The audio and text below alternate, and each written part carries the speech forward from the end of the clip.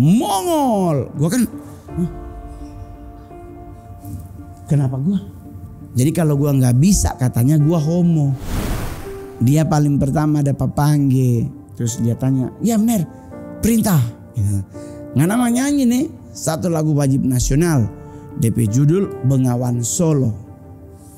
Dia langsung bilang begini, aduh sorry Ner, kita nih tahu itu lagu Ner, lagu lain Jo. Terus Ner bilang, ngana pilih Jodang apa yang ngana tahu. Dia bilang dia taunya halo halo Bandung. Di saat kita kesaksian gereja setan, saya lost iman.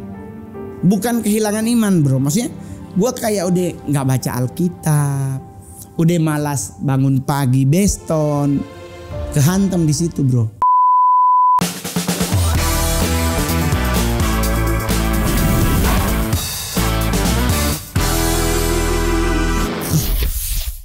Stand up comedy itu gimana Bang bisa kecemplung ke sana? Apakah gara-gara Bang Mongol saat itu sudah yakin dengan eh, maksudnya setelah perjalanan itu Bang Mongol bagaimana boleh cerita masuk ke stand up comedy? Jadi kalau dibilang saya bakat pelawak, enggak juga bro. Kan lu tahu gua hidup jalanan, lu tahu kan gua hidup yang gagal. Otomatis keterbatasan temen gua ada. Gua nggak punya temen. Karena gua malu tuh. Bukan guanya yang malu, teman-teman gua yang malu temenan sama Mongol. Saya kalau ke gereja ketemu teman-teman Manado, mereka nggak mau duduk sama Mongol. Sekali kita datang selalu bikin malu dong ngana Mongol baju Al-Quran jadi selalu bilang begitu. Aduh Mongol ngana pulang Manado juga apa apa ngana kerja di sini begitu begini begini begini. Ngana om ada banyak tanah ngana begini. Akhirnya saya bertemanlah sama orang Batak. Karena kebetulan memang kita mukanya sama. Jadilah mereka pikir saya ini orang Batak padahal saya ini orang Manado asli dari suku Sangir. Jadi akhirnya eh, berjalannya waktu Mongol ke masuk Cipinang, bebas dari Cipinang, terus mulai mulai lagi merangkak hidup, punya teman waktu itu grup BB. Dulu kan ada BlackBerry, nah itu kan ada grupnya. Nah Mongol gabung di satu grup, ada salah satu anggota kita itu dia adalah salah satu direktur HRD sebuah perusahaan besar di DKI Jakarta. Dia ulang tahun bro. Dia booking komedi cafe hari Jumat. Eh hari Minggu. Jadi kita Mongol kebagian jadi panitia ulang tahun dan gue jadi seksi keamanan. Jadi dikasih tahu apa nih tugas gue gitu kan. Nah kita meeting di komedi cafe. Nah di saat yang bersamaan ada open mic stand up komedi Indonesia. Open mic itu adalah ajang belajar untuk para komik-komik yang pingin jadi stand up komedian. Nah kita lah ini meja, meja bulat begini tapi agak besar. Kan kalau kita mau pesen di rumah makan tuh kan ada yang kertas yang apa pesanan kita yang ditempel pakai lak apa itu loh eh, apa pakai lakba. Si solasi kalau bahasa Manado tuh nah ditempel. Nah sama teman Mongol nih namanya Bang Eka Siregar. Orangnya masih ada. Diambil tuh kertas ditulis nama Mongol. Dikasih lah ke waitersnya suruh kasih ke MC gua nggak tahu. Karena kita kan lagi pokoknya ngol kalau ada yang datang dia nggak ada undangan jangan masuk. Dari kita nih tugas gua kan paling frontal depan. Kalau dia datang undangan cuman buat pacarnya, pacarnya nggak dapet, pacarnya nggak boleh masuk. Gitu. Oh iya, jadi nanti setiap tamu yang datang dikasih hadiah. Iya, tahu-tahu di depan bunyi. Ada nih yang mau nyoba open mic juga nih. Namanya si unik. Langsung kita itu Dodi hamster orangnya masih ada lu boleh kejar tuh orangnya. Mongol. Gua kan eh, Kenapa gua? Yang ditanya bunyi lah nih temen. Lu ngol kalau nggak bisa berarti lu bener homo. Jadi kalau gua nggak bisa katanya gua homo. Nah untuk ngebuktiin kalau gua nggak gua maju bro. Dan ternyata menurut Ernest dan teman-teman karena Ernest ada di situ. Pak eh, eh, apa Arif eh, Kang Arif Didu eh, siapa? Asep Suwaji Lukman Baihaki itu komik-komik angkatan pertama ada di situ mereka dan ternyata mereka tuh ketawa ngakak. Dan di situ ada eksekutif produser dari Metro TV. Oh. Itu bulan Juli tanggal 9. Jadi besok 9 Juli Mongol berulang tahun dalam karir 12 tahun. Wow. Tapi kalau tayang TV pertama 29 September di tahun yang sama. Berarti open mic pertama kali itu nggak ada pengalaman sama sekali Nggak itu ada. membuka kesempatan bang. Ya karena kok dibilang homo. Ya kan? Orang masih gini. Itu adalah fase. Itu yang Mongol selalu bilang di saat fasemu selesai dengan indah, Tuhan yang akan mengangkatmu.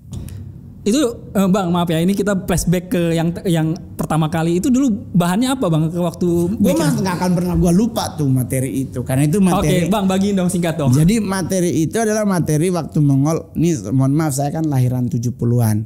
Jadi dulu itu kan ujian itu namanya EPTA dan EPTANAS. Evaluasi tahap akhir ya kan. Uh, jadi uh, EPTANAS ini yang ujiannya yang enam apa lima pelajaran tuh. Bahasa Indonesia, matematika itu kan. Nah, baru EPTA ini adalah kurikulum apa uh, ekstrakurikuler yang kita dibikin. Tuh nanti dapat satu poin. Kalau seandainya kita nih nyanyi menang. Nambah poin yang tadinya di bahasa mungkin lima ambil poin ini jadi enam. Nah jadi kita satu kelas itu disuruh nyanyi lagu Indo satu lagu wajib nasional satu lagu daerah. Nah jadi di depan Mongol itu ada teman. Dia paling pertama ada papangge terus dia tanya ya bener perintah. Ya. nggak nama nyanyi nih satu lagu wajib nasional. DP judul Bengawan Solo.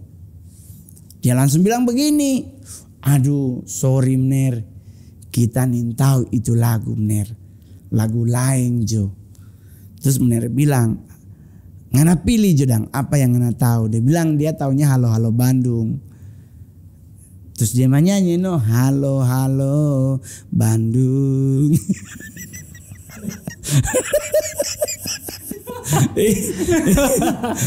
Karena kan mohon maaf ya, kadang kan kita gugup bro. Jadi ada fase yang kita ngeblank. Jadi yang harusnya halo, halo Bandung, dia bagi halo halo Bandung. Harusnya kan Bengawan Solo. Jadi itu itu lanjut tuh materi itu karena ada tiga lagu dia dia menyanyi. Jadi disuruh mener stop dulu. Salah itu. Terus disuruh lagi pilih dia nyanyi lagu Garuda Pancasila. Cuman dia nyanyinya aneh Garuda pan sampai Merauke berjajar pu. Terus sebenarnya bilang begini. Kiapa Garuda khusus sampai Merauke. Eh kok dia jawab begini terbangnya Mner. Makanya makanya tuh bener. Itu kau nggak akan lupa tiga lagu tiga lagu lagu nasional tuh dia di, salah semua. Jadi lagu terakhir yang paling parah disuruh milih dia disuruh milih hari merdeka. Kenapa dia bilang dia tahu? Karena dia bilang begini, benar kan kita hari Senin kan yang jabat Palu, yang pimpin itu loh, ya kan? Yang yang jadi dirijen. Jadi dia nyanyi. Dia masih inget banget tuh. Karena kan satu sekolah dia nyanyi begini karena dia so tahu dia salah dua. Dia kayak udah nggak ada apa ya, nggak ada semangat dang. Dia dia nyanyi begini. 17 Agustus tahun 45 Itulah hari kemerdekaan kita. Benar bilang begini Coba kok semangat. Dia pikir salah. Dia pikir salah Dia ganti. 178 Tadi kan 17 tuh. Ini dia pakai pakai 17 178 semangat kok. Itu lagu kan tempo di mars ya. Jadi secepat orang berbaris.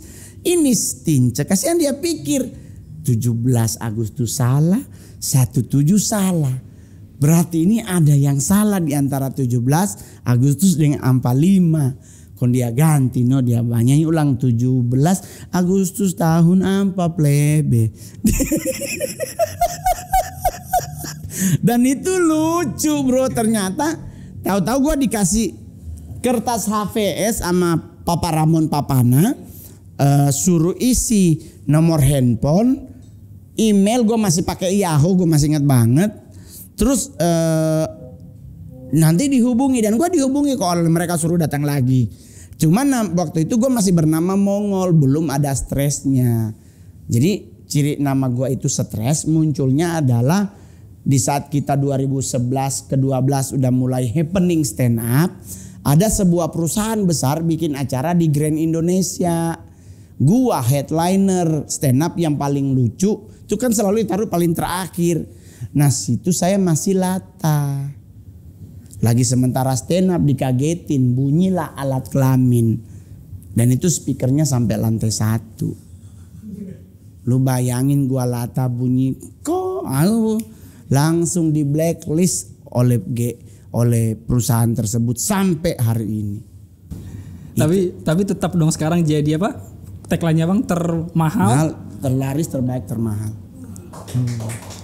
terlaris, terbaik, termahal ya Bang ya. Iya, karena kan presiden dua, Pak SBY, Pak Jokowi. Yang kemarin viral juga Pak Jokowi itu. Oh, baru stres itu karena selalu ciri khasnya kacamatanya di Atta. kepala. Oh, Karena, pantesan sekarang masih terus nih ya. iya, karena kan yang minus otaknya, bukan matanya. Jadi gua kacamatain daripada nih syuting kita kacau.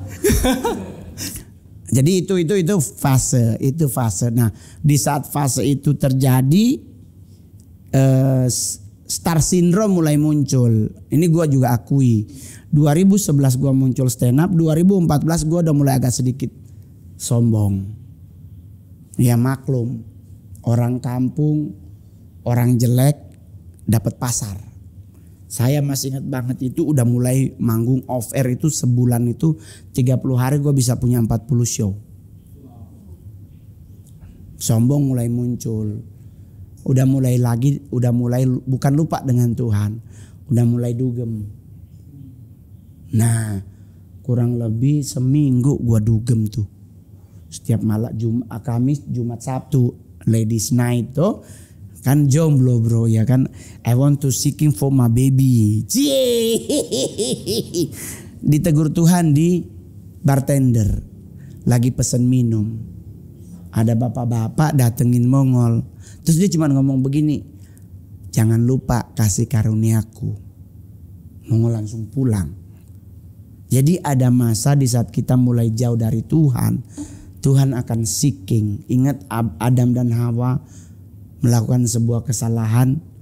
Bukan mereka yang datang kepada Tuhan tapi Tuhan yang datang kepada mereka berdua. Nah di saat kita mulai jauh dari Tuhan Tuhan akan nyari ke kita. Tinggal sikap hati kita mau nggak ditegur oleh Tuhan dan mau kembali nggak. Nah kalau mau memilih untuk kembali dan puji Tuhan sampai hari ini saya masih tetap berkarir sebagai stand up komedian bro. Teman-teman gua yang lain udah tidak lagi di dunia stand up. Udah kehilangan pasar. Apa Kal- kuncinya Bang bisa bertahan sampai saat ini? Apa karena satu juga kasih karunia Tuhan atau kayak gimana? per- berpegang teguh aja sama Tuhan. Kan prinsip hidup Mongol. Tuhan yang buka, siapa yang mau tutup. Ya toh? Iya. Jadi itu yang Mongol pegang. Manusia mau mereka-reka yang jahat terhadap kita pasti bro.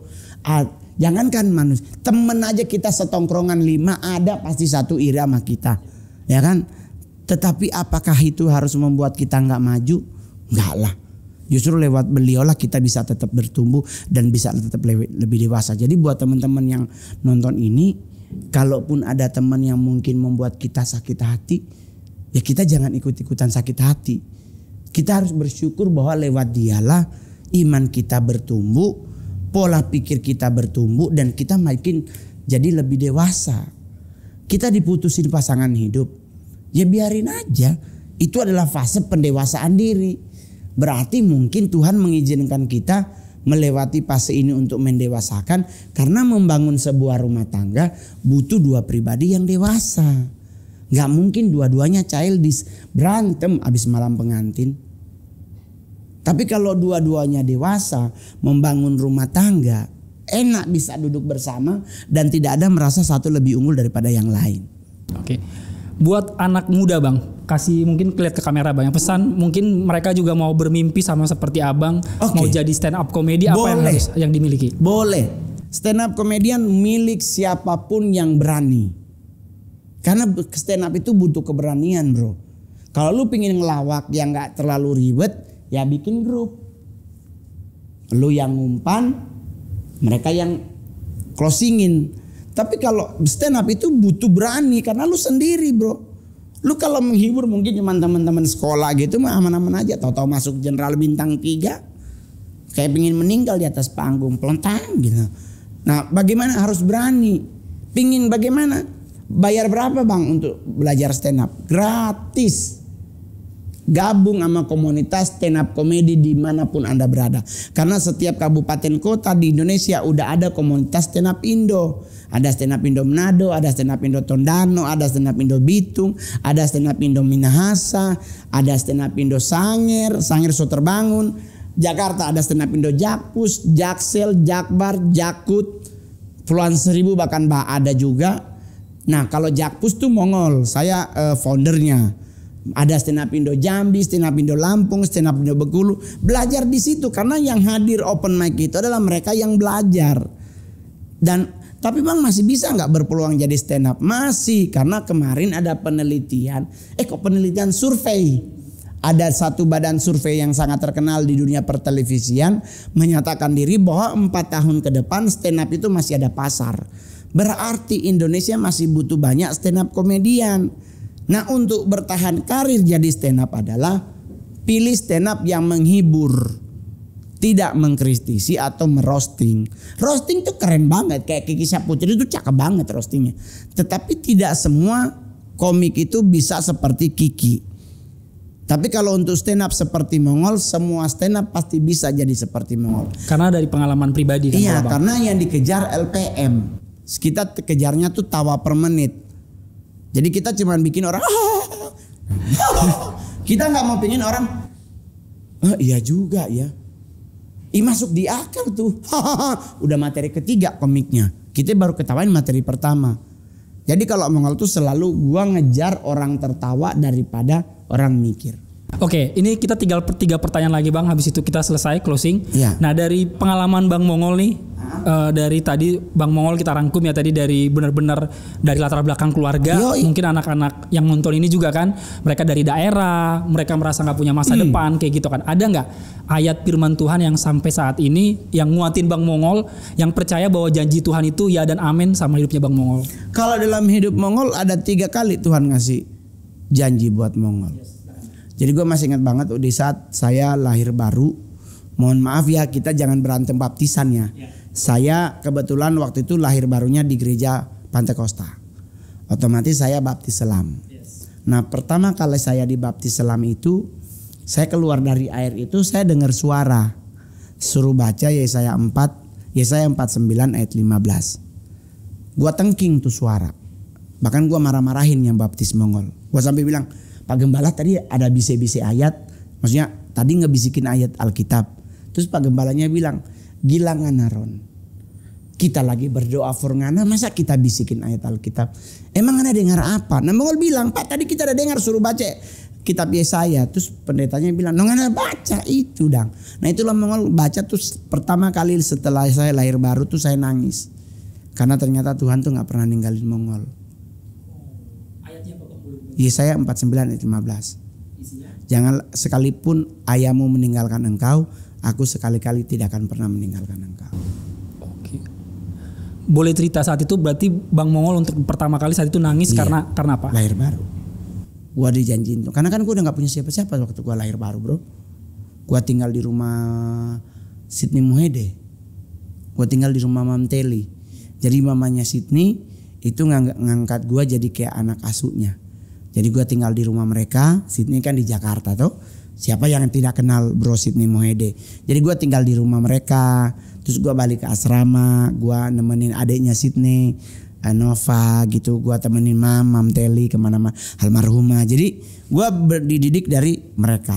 Nah pas eh, janji kedua itu gua di asrama tim Timoti Yayasan Hosana Manado. Itu ada Karomel Solang, almarhum Karidi Buyung, Yudi Markan, Morris. Itu kita segeng, Elon Regar. Itu doa, lagi doa malam. Lagi eh doa malam apa doa eh, puasa.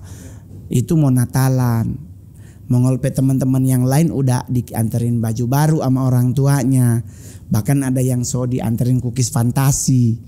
Kalau kita Jakarta apa?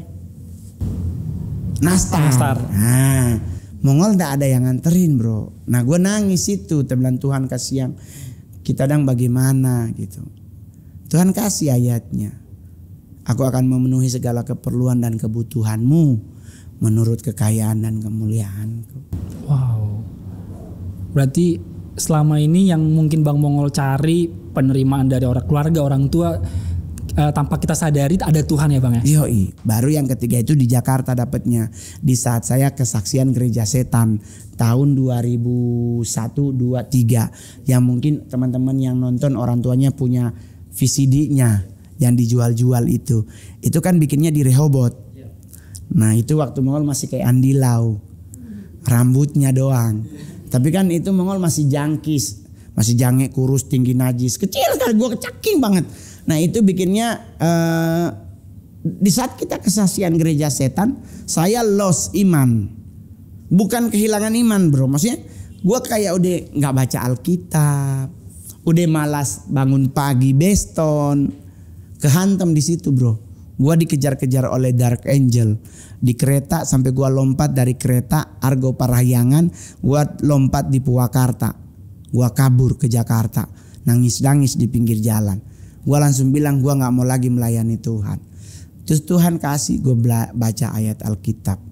1 Yohanes 5 ayat 18. Setiap orang yang lahir dari Allah tidak berbuat dosa. Dan kalimat selanjutnya tuh keren banget. Dan si jahat tidak bisa menjamah engkau. Itulah sampai hari ini gua nggak pernah ketakutan dengan satanisme. Teman-teman gua yang lain pada kabur dan nggak mau ngomongin satan, gua nggak takut. Karena Tuhan yang janji. Evil cannot touch you. Dan si jahat tidak pernah akan bisa menjamamu. Jadi gue pegang teguh. Jadi gue nggak ada ketakutan lagi. Gue ketakutannya kalau lampu mati. Soalnya wifi mati, lagi main Mobile Legend mati. Dilapor. Yang lapor satu hilang skor. Ya kan? Dilapor lima. Band mandi. Langsung band valid itu. Hilang langsung akun kita.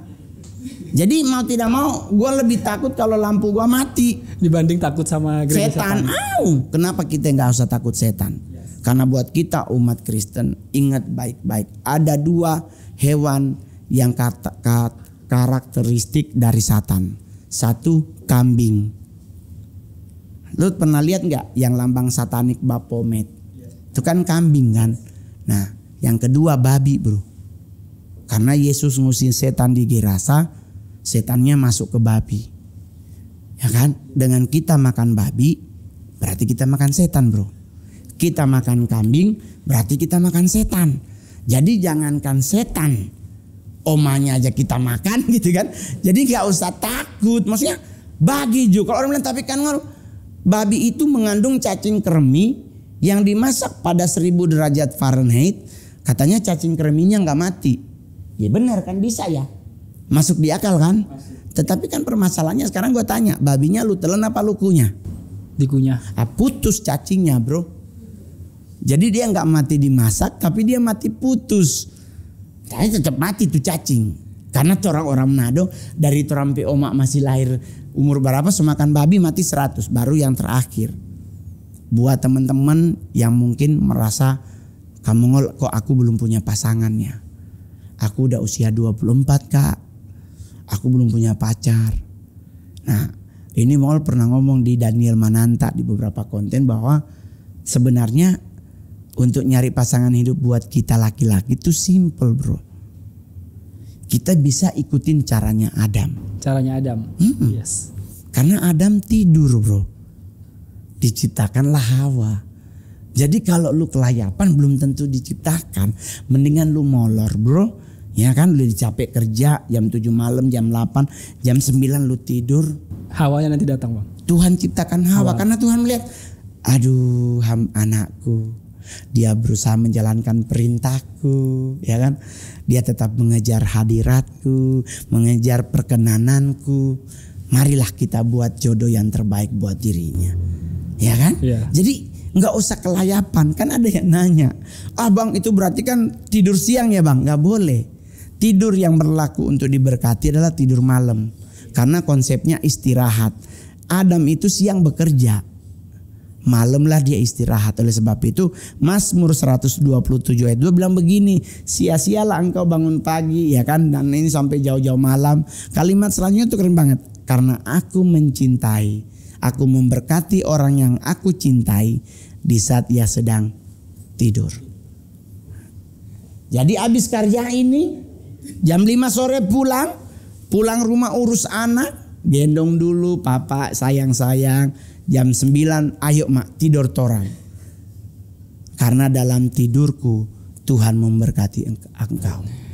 Oke. Okay. Bang Mongol udah banyak kasih. Banyak sekali honor harus nambah harusnya. Secara pribadi Bang, Hah? Yesus bagi hidup Bang Mongol uh, Berarti banget. lebih maksudnya kenapa dia menjadi Tuhan dan juru selamat hidup Bang Mongol? Silakan Bang. Yesus buat Mongol itu sebagai Tuhan juru selamat dan raja karena tanpa dirinya aku bukan siapa-siapa. Kesuksesanku apa ya?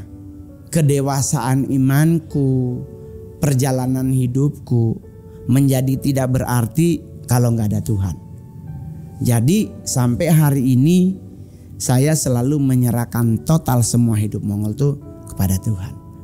Dan Tuhan yang janji Tuhan tidak akan pernah meninggalkanku. Tuhan akan memenuhi apa yang menjadi kebutuhanku dan Tuhan akan menjaga keluar masuk hidupku. So, buat anak-anak muda juga sama, sertakan Tuhan dalam hidupmu, dengarkan kata orang tuamu dan yakinkan bahwa dirimu mampu lakukan maka kesuksesan akan engkau raih dengan indah. Jangan lupa di subscribe. Jangan hanya jadi viewers. Tapi jadilah subscriber karena dengan Anda menjadi subscriber, Anda menjadi bagian dari komunitas besar ini. Gitu? Thank you. Swadichan. Oke Bang, karena program ini juga kan ditayangin di seluruh Indonesia. Hmm. Tadi kita juga sudah uh, banyak juga mereka dari daerah, dari latar belakang keluarga yang hancur, dari uh, masa depan yang Hmm. Apa pun. apa, apa pun itu. Boleh kasih semangat dong bahwa mereka bisa seperti Bang Mongol, bahkan Tuhan sudah merancangkan masa depan yang penuh harapan buat mereka. Jadi buat teman-teman semuanya, jangan pernah merasa rendah diri. Jangan pernah merasa Anda tidak mampu. Semuanya akan menjadi elegan dan indah di saat kita mau melangkah. So melangkahlah dengan tetap punya keyakinan dan menyertakan Tuhan. Karena kalau dalam agama Kristen itu kan ada lagu iring di kau saja Tuhan. Atau lagu tenanglah kini hatiku atau ku jalan di jalanku ku diiring oleh Yesus Tuhanku. Jadi di saat kita melangkah bersama Tuhan, masa depan yang cerah akan menjadi bagian dari hidup kita. So, jangan pernah merasa Anda tidak mampu, lakukan dulu dan yakinlah Anda pasti bisa. Tuhan Yesus memberkati. Wow, thank you so much Bang Mongol Thank untuk waktunya. Kita Thank sudah you. dapat banyak banget. Thank Kita you, thank you. percaya banyak anak-anak muda yang menyaksikan ini, mereka akan percaya bahwa mimpi itu bisa diraih, eh, percaya bahwa eh, ada support system juga ya. Jadi kalau kalian juga nanti misalnya pengen curhat, pengen cerita, pengen punya sahabat, kalian jangan ragu hubungi nomor-nomor di bawah ini Betul. karena ada layanan doa dan konseling dari CBN yang secara khusus mau berdoa buat kamu. Dan kita berdua mau pamit, mau bilang apa Bang? Tapi ada satu lagi yang gue mau ingetin. Apa tuh Bang? Yang paling penting Yap. di saat Anda menjadi apa jemaat Kristus bergereja lah. Hmm. Jadi di gereja itu dengan kita bergereja kita pasti punya teman yang banyak. Oke, berarti punya komunitas. Yoi. Jadi kalau selama ini banyak anak-anak remaja kabur, anak muda lari lebih lebih memilih game harus bergereja lah. gitu. Bergereja. Saya main gamer, saya Mobile Legend holic. Tapi tetap harus gereja. Kan cuma satu hari kata Tuhan. Jadi izin apa izinkan satu hari tiga jamu untuk ke gereja. Cari Tuhan. Yo coy. Jadi thank you banget. Thank you banget Bang Mongol, sukses Sama-sama, selalu sukses buat selalu karirnya. juga. Ya. Sampai ketemu lagi dan kita berdua mau bilang apa Bang? God bless you. God bless you. Tuhan Yesus memberkati.